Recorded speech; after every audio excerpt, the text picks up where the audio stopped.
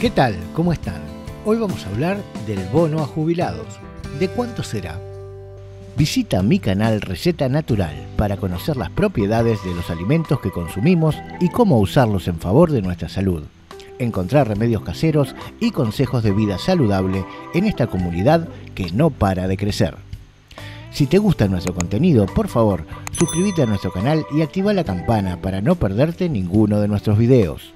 En los próximos días se hará oficial el pago de un bono especial para jubilados y pensionados como medida del gobierno para compensar el deterioro del poder adquisitivo debido a los efectos de la inflación acumulada en el primer semestre del año, que fue del 21,5%.